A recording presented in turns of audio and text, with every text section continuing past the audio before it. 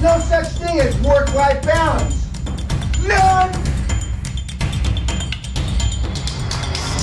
Learn to be super successful. Subscribe to my channel, Meathead. You buy a deal for a million and you overfinance it uh, a million two. So you got $200,000 or pounds or euros extra, right?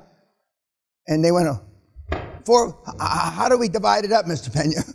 Meaning, how do the, how do you take it out for you?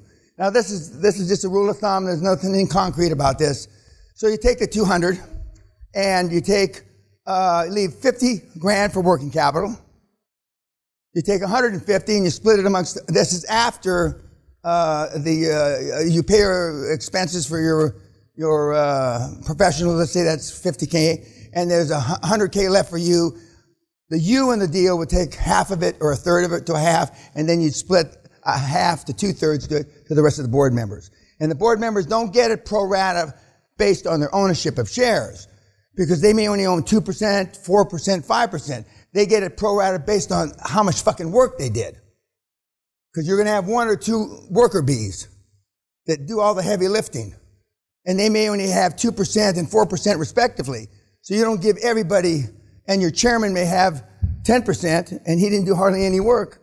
So you, let's say you give, you know, uh, uh, 30% of the uh, uh, extra money to the guy, the two guys that did the heavy lifting, and then you split up the rest, 5, 10% each. But it's not paid pro rata to the ownership. It's, it's paid based on the workload that they carry. And it'll be easy to differentiate who's doing the work. I mean, that's easy. And in the first deal, your guys, your board members aren't responding to you.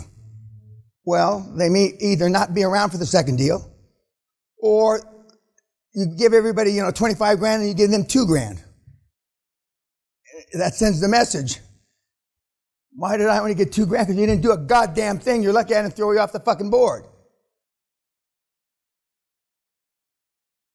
Or you give them nothing. I don't like that. I've always given them something. But some of the guys that I've been in business with give them nothing. You did fuck all, you get fuck all. Now that's, but then they normally resign. That's fine.